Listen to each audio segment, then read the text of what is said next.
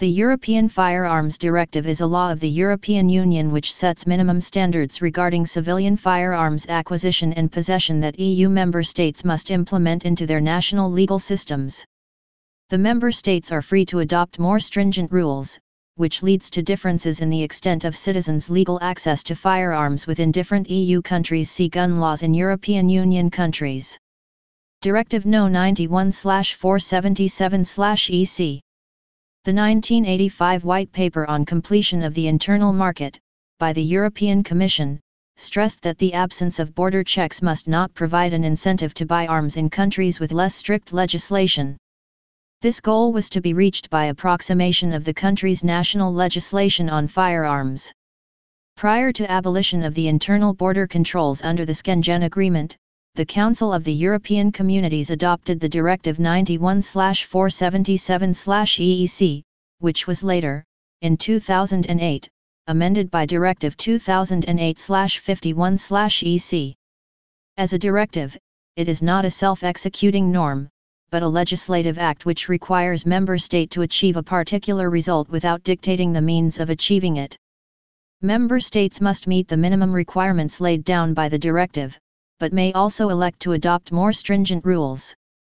Certain countries such as the United Kingdom are thus unaffected as they have maintained more stringent gun control laws than those effectively set as a minimum by the European Union, while others, like the Czech Republic, were forced to introduce more regulation in their national legislation.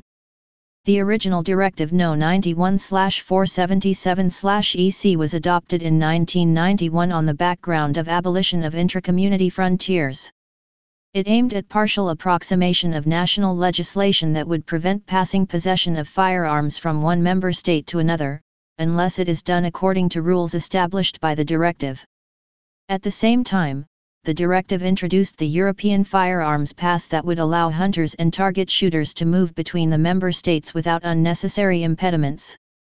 Generally, a person with a valid European firearms pass traveling to or through other member states may be in possession of one or more firearms during that journey, provided that they are in possession of a European firearms pass listing such firearm or firearms and provided that they are able to substantiate the reasons for their journey, in particular by producing an invitation. That, however, does not apply to a journey through member states that have more stringent laws and generally prohibit such firearms within their territory. The directive was without prejudice to any national provisions concerning carrying of weapons, hunting, or target shooting and allowed member states to adopt more stringent rules.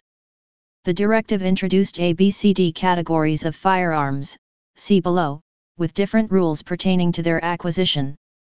Under the directive, national laws were to allow acquisition of A and B category firearms only subject to authorization, while C category firearms were subject to registration. Handing over of a firearm to a person from a different country was to be allowed only subject to a written declaration of authorization of such a transfer by the country of residence of the acquiree. The directive also bound member states to intensify controls on external community frontiers in order to prevent supply of black market firearms into the community. Amending Directive No 2008-51-EC Following the signing of the United Nations Protocol on the illicit manufacturing of and trafficking in firearms, their parts, components, and ammunition, annexed to the Convention Against Transnational Organized Crime, the European Council and Parliament noted the need to amend the existing Firearms Directive in order to bring European legislation in line with the UN Protocol rules.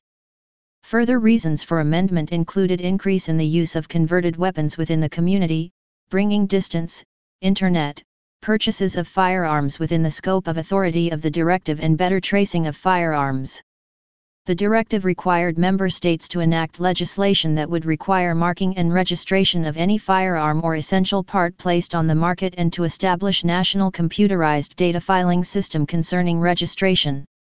The directive also placed a set of specific duties on the European Commission to submit a report to the EP and EC on the application of the directive by July 2015 to submit a report to the EP and EC on possible simplification of categorization of firearms into two categories with a view to the better functioning of internal markets by July 2012.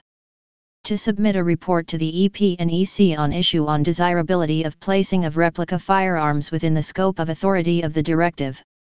To issue common guidelines on deactivation standards and techniques to ensure that deactivated firearms are rendered irreversibly inoperable in line with procedure in Article 13A, 2. Firearm categorization prior to June 13, 2017. Firearm category designation minimum standard required. Category A. Prohibited firearms 1. Explosive military missiles and launchers. 2 automatic firearms. 3 firearms disguised as other objects. 4 ammunition with penetrating, explosive, or incendiary projectiles, and the projectiles for such ammunition. 5 pistol and revolver ammunition with expanding projectiles and the projectiles for such ammunition, except in the case of weapons for hunting or for target shooting, for persons entitled to use them. In general, the firearms are prohibited, authorization to acquire and possession may be possible only in special cases. Category B Firearms subject to authorization 1. Semi-automatic or repeating short firearms. 2 single-shot short firearms with center fire percussion. 3 single-shot short firearms with rim-fire percussion whose overall length is less than 28 cm. 4 semi-automatic long firearms whose magazine and chamber can together hold more than 3 rounds. 5 semi-automatic long firearms whose magazine and chamber cannot together hold more than 3 rounds, where the loading device is removable or where it is not certain that the weapon cannot be converted, with ordinary tools, into a weapon whose magazine and chamber can together hold more than three rounds. 6. Repeating and semi-automatic long firearms with smooth-bore barrels not exceeding 60 cm in length. 7. Semi-automatic firearms for civilian use which resemble weapons with automatic mechanisms. Acquisition and possession allowed only to persons who have good cause, are older than 18, or younger in case of hunters and sport shooters, and are not likely to be a danger to themselves, to public order or to public safety. Subject to prior authorization. Category C. Firearms subject to Declaration 1. Repeating long firearms other than those listed in Category B, point 6. 2 long firearms with single-shot rifled barrels. 3 semi-automatic long firearms other than those in Category B, points 4 to 7. 4 single-shot short firearms with rimfire percussion whose overall length is not less than 28 cm acquisition and possession allowed only. To persons who have good cause, are older than 18, or younger in case of hunters and sport shooters, and are not likely to be a danger to themselves, to public order or to public safety and subject to registration. Category D. Other firearms single-shot long firearms with smooth-bore barrels. Acquisition and possession allowed only to persons older than 18. Amending Directive, EU, 2017-853. Legislative Procedure 2015 European Commission Amendment Proposal The European Commission proposed a package of measures aimed to make it more difficult to acquire firearms in the European Union on November 18, 2015, which became known as the EU gun ban. President Juncker introduced the aim of amending the European Firearms Directive as a Commission's reaction to a previous wave of Islamist terror attacks in several EU cities. The main aim of the Commission proposal rested in banning B7 firearms, and objects that look alike. Opponents point out that no such firearm has previously been used during commitment of a terror attack in EU. Of 31 terror attacks committed in the EU in the years preceding the Commission's proposal, 9 were committed with guns, the other 22 with explosives or other means, truck and Nice. Of these 9, 8 cases made use of either illegally smuggled or illegally refurbished deactivated firearms, for which the European Commission didn't enact any rules, despite being tasked to do so in the Directive No 2008-51-EC, see above, while during the 2015 Copenhagen shootings a military rifle stolen from the army, was used. The European Commission proposal, if adopted, would have the following effect. Bringing alarm, signal, salute, acoustic, replica and deactivated firearms within the scope of authority of the directive, thus requiring that their owner possesses respective licenses. Standard medical testing as a prerequisite to firearm license acquisition. Absolute prohibition of possession of A category firearms, even if having been deactivated, and destroying them, which would have particular effect on private collectors and museums, bodies concerned with the cultural and historical aspects of weapons and recognized as such by the member state in whose territory they are established may be authorized to keep in their possession firearms classified in Category A acquired before the date of entry into force of the directive provided they have been deactivated, i.e. rendered permanently unfit for use, ensuring that all essential parts of the firearm have been rendered permanently inoperable and incapable of removal, replacement, or a modification that would permit the firearm to be reactivated in any way which, from historical perspective, is on par with destruction. Manufacturing of firearms for security forces within the EU, private companies could not possess A category firearms that they manufacture before selling them to police or military. Private owners, especially as regards of B category firearms that would be newly categorized as A firearms, automatic firearms which have been converted into semi-automatic and semi-automatic firearms which resemble weapons with automatic mechanism. 5-year maximum license length, may be renewed. In the proposal, the European Commission suggested that the amendment includes Article 10b, which would bind the Commission to issue common deactivation standards as it was ordered to do in the 2008 directive, see above, and which the Commission issued on December 19, 2015. Meanwhile, poorly deactivated firearms, alongside smuggling from third countries, became one of major sources of black market guns used by criminals and terrorists in Europe, having been used in 2016 Munich shooting, killing spree in Charlie Hebdo, France, and 2015 Thalys train attack. 2016 Dutch presidency reworked amendment proposal. The Dutch EU presidency introduced second reworked version of the amendment proposal on April 4, 2016. Apart from taking over all of Commission's proposals, Netherlands went further with proposing, among other things, a total ban on all semi-automatic firearms capable of being fitted with a magazine with more than six rounds, i.e. all pistols and most existing semi-automatic rifles. Three weeks later, the Dutch presidency introduced a third version of the amendment proposal. This time Netherlands proposed, on top of EU Commission proposal, to ban self-loading firearms that have a magazine with more than 20 rounds attached, as well as ban such magazines themselves. According to Czech Ministry of Interior impact assessment it would make a total chaos in firearms categorization, i.e. a firearm would be B category when a 15-round magazine is inserted, and A category a second later after inserting a different, larger magazine, as well as vagueness, as it allowed also interpretation that all firearms that might potentially accept a larger than 20 rounds magazines might be themselves banned. The impact assessment further pointed out that millions of now legally owned standard capacity magazines could be expected to flow into the black market.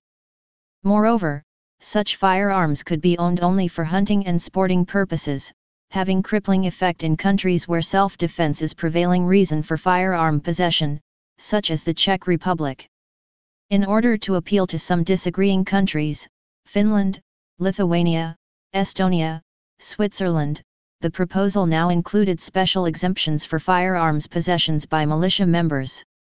The Dutch presidency proposed to remove the entire D category of firearms and move the firearms into C category, i.e. making for example muzzle loaders subject to same rules as firearms.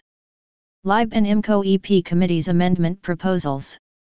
The amendment proposal was introduced at the European Parliament's Committee on Civil Liberties, Justice and Home Affairs, LIBE, and Committee on Internal Market and Consumer Protection, IMCO.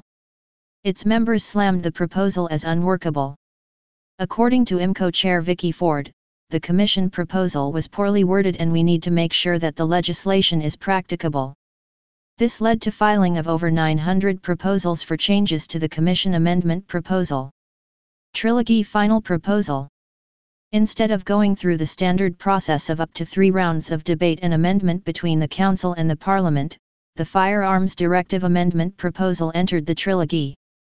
Coreper The European Council's position on the issue was negotiated through Committee of Permanent Representatives, Coreper.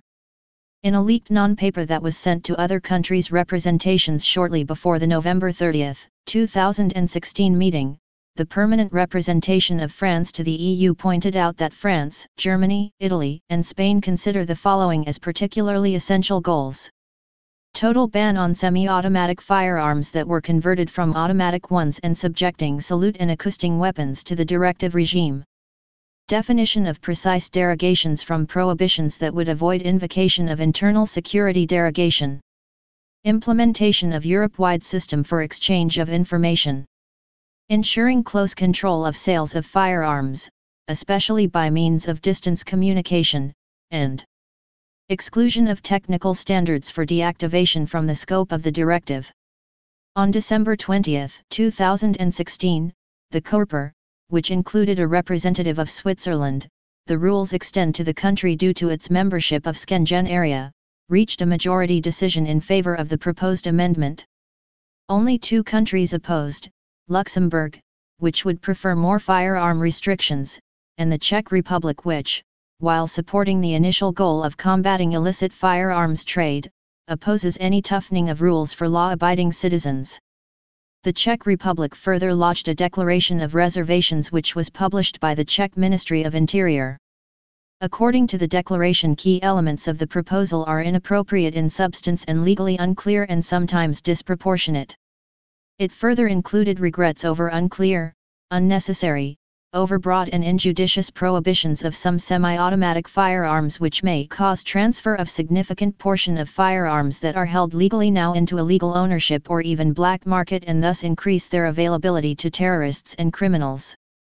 The Czech Republic also stated concern about last-minute changes to the proposal about which the member states were not informed in advance and thus could not properly evaluate their impact. The Coreper version was closer to the second Dutch proposal, third reworked version, than to original Commission version. IMCO On January 26, 2017, IMCO committee accepted the Coreper amendment proposal by majority of 25 to 9 votes. Among those that did not support the proposal were all four Czech committee members. According to Vicky Ford, the IMCO negotiators amended the proposal to defend the interests of legal owners and close some loopholes, especially on poorly deactivated firearms. Ford commented that she would prefer a version that would not include magazine limitations, however she accepted it as it was of extreme importance to some countries. Shadow rapporteur Dita Charanzová said that she has never in her career met a proposal that would be this much politicized, with the Commission exercising extreme pressure especially by the end of the negotiations. Charanzová said that, since first proposing the amendment in 2015, the Commission had not presented an impact assessment, although it is required by its own legislative rules and although she had asked for it numerous times. She further asked the Commission what it had done with over 28,000 inputs gained during public consultation phase, but to no avail. Further, representatives of the Commission would often bring last-minute changes to meetings they couldn't justify at one point trying to answer her objection with the definition taken from Wikipedia. Charanzová also noted the rise of anti-EU sentiment connected with the proposal. Mylene Troszczynski filed a minority opinion on behalf of the ENF, according to which the legislation seeks only to restrict the civil liberties of blameless citizens in their efforts to acquire and possess firearms. European Parliament vote The European Parliament voted on the proposal during its session on March 14, 2017. There were altogether 164 proposals for amendments filed by MEPs that sought to change the text negotiated in the trialogue. However, under the rules of procedure of the European Parliament Art. 53, 3, any provisional agreement reached in the trialogue under Art 69F, 4, shall be given priority in voting and shall be put to a single vote. MEP Dita Charanzová put forward a motion on behalf of the ALDE group that would allow voting on the MEP's proposals for changes, arguing that the plenary has never had the opportunity to take the position on this important text as it was negotiated directly by the committee, therefore I ask all my colleagues to vote in favor of this request which would simply allow all members to express their opinions. Vicky Ford then argued that these amendments had been debated in the committee, discussed with the Council and ultimately rejected by the member states. She argued that adopting the amendments would destabilize the entire agreement, throwing away all the hard work and success that the Parliament has had in improving the text. Charanzová's proposal was rejected by unknown margin, as, according to Chair the vote was absolutely clear for everyone to see, there is no point in having a check with no record of number of votes cast being made. The Parliament passed the proposal by 491 to 178 margin after 4 minutes and 50 seconds with no public debate. European Council vote European Council approved the proposal by majority vote on April 25, 2017 the Czech Republic, Luxembourg, and Poland voted against the proposal. Publishing The directive was published under No. EU 2017-853 on May 17, 2017 in the official journal. Member states will have 15 months to implement the directive into their national legal systems. Content Gun ban Under the 2017 directive, certain firearms formerly classified as B category firearms are newly reclassified as A category firearms and thus they are banned for certain classes of civilians. These are converted semi-automatic firearms, i.e. automatic firearms, which have been converted into semi-automatic firearms. This ban will affect especially countries where converted former government surplus firearms are popular for home defense or hunting, such as the Czech Republic. During the drafting of directive, the ban was contested due to the fact that up to 2017 directive, there were no records of which firearms were newly made semi-automatic ones and which were converted to semi-automatic from government surplus select fire firearms. For example VZ.58 are offered in both variants, with the only practical difference to end user being double price of those not falling under the ban. Standard capacity magazines possession by legal gun owners. The 2017 directive prohibits legal gun owners from possessing a loading device with capacity of more than 21 rounds in case of short firearms, pistols, and more than 11 rounds in case of long firearms, rifles. If inserted into a given class firearm, the legal gun owner should lose authorization to acquire and possess a B category firearm. The directive does not include any penalty for possession of such loading device by a person other than a B category firearm authorization holder. During the drafting of directive, standard capacity magazines for semi-automatic rifles were either 20, for 7.62 x 51 mm cartridges typical in Switzerland, or 30 rounds, for 7.62 x 39 mm or 5.56 x 45 mm cartridges typical in most of the EU.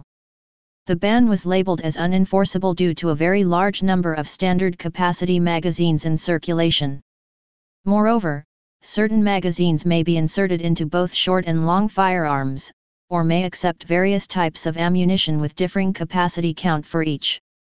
Personal defense weapons, PDW, i.e. semi-automatic long firearms, firearms that are originally intended to be fired from the shoulder, that can be reduced to a length of less than 60 cm without losing functionality by means of a folding or telescoping stock or by a stock that can be removed without using tools. This category of firearms is especially popular for home defense in countries like the Czech Republic.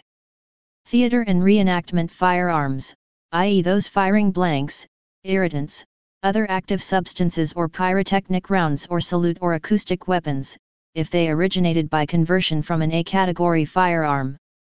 Protests against this part of directive included military reenactment societies conducting parts of reenactment battles armed with brooms and bananas instead of blank firing guns. The directive, however, includes several exemptions that member states may enact and under which the above-mentioned banned firearms may either remain in possession of existing owners or may be acquired by new owners.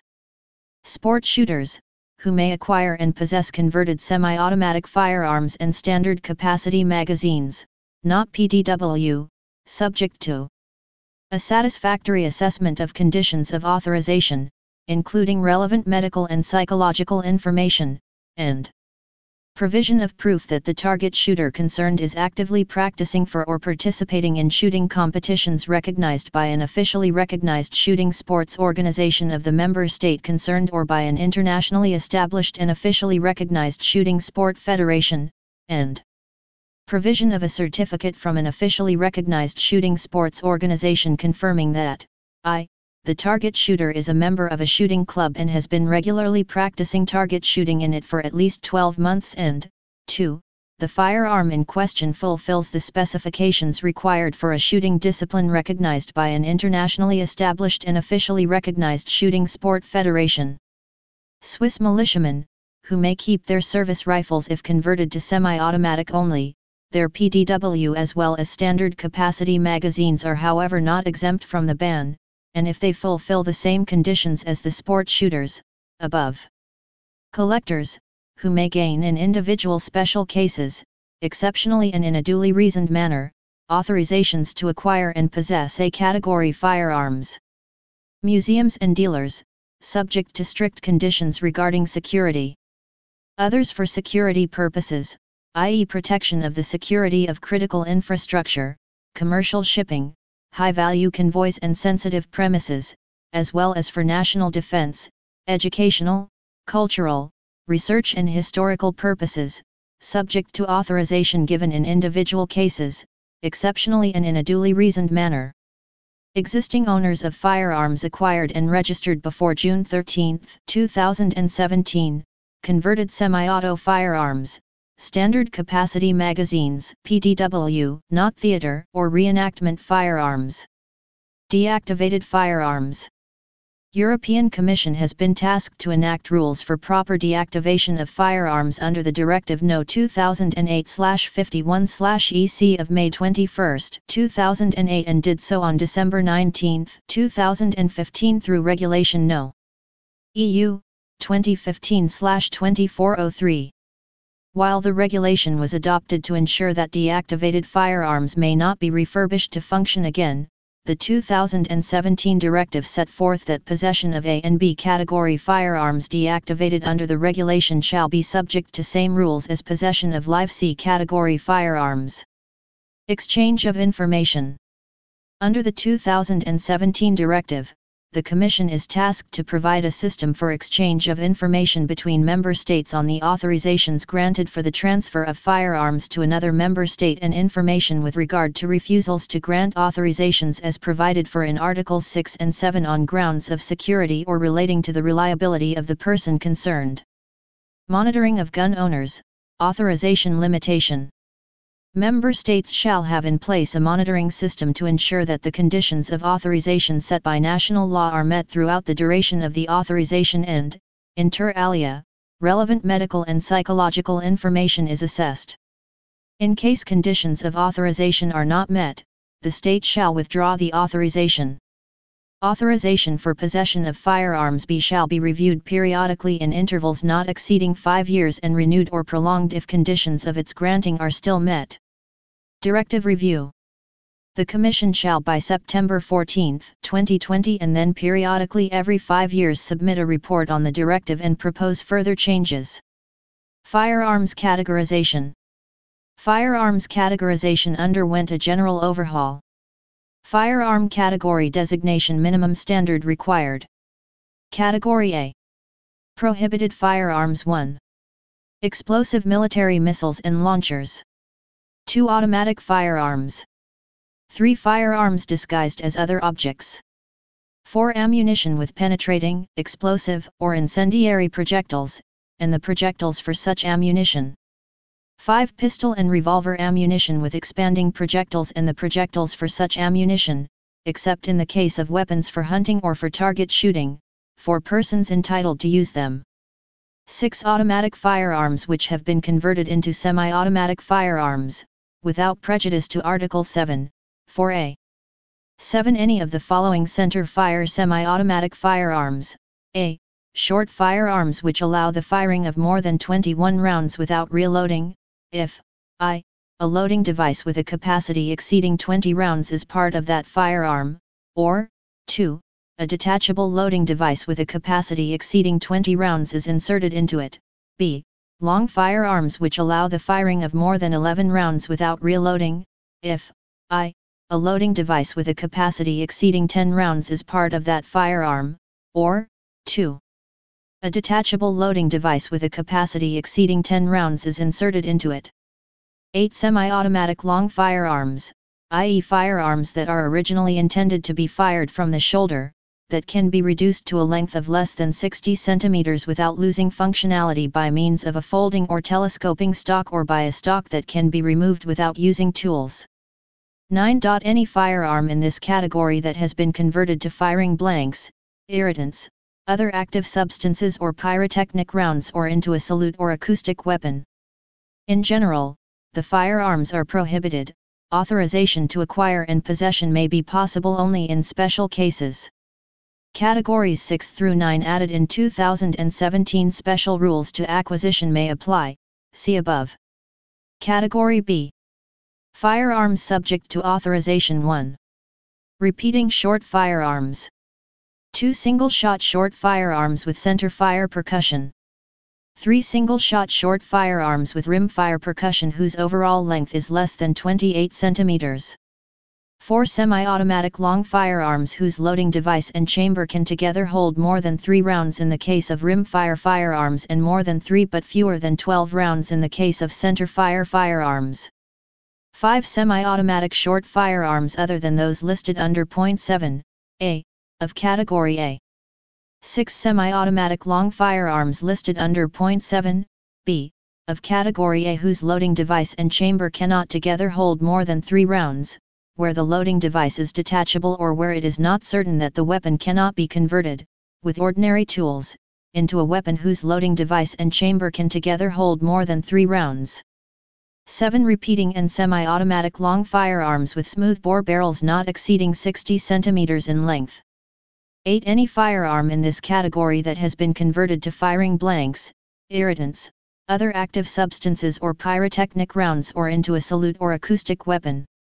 9 semi-automatic firearms for civilian use which resemble weapons with automatic mechanisms other than those listed under point 6, 7, or 8 of Category A, acquisition and possession allowed only by persons who have good cause and are at least 18 years of age, except in relation to the acquisition, other than through purchase, and possession of firearms for hunting and target shooting, provided that in that case persons of less than 18 years of age have parental permission, or are under parental guidance or the guidance of an adult with a valid firearms or hunting license, or are within a licensed or otherwise approved training center, and the parent, or an adult with.